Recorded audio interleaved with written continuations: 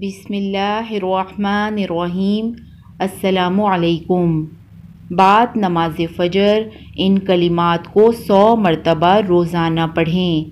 ان کلمات کی برکت سے اللہ تعالیٰ آپ کے رزق میں برکت عطا فرمائے گا، آپ کی روزی میں برکت عطا فرمائے گا۔ اللہ تعالیٰ ایسی جگہ سے آپ کو رزق عطا فرمائے گا جہاں سے آپ کو گمان بھی نہ ہوگا۔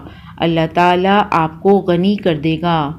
كلمات یہ ہیں سبحان الله وبحمده سبحان الله العظيم سبحان الله وبحمده سبحان الله العظيم ترجمہ پاک ہے اللہ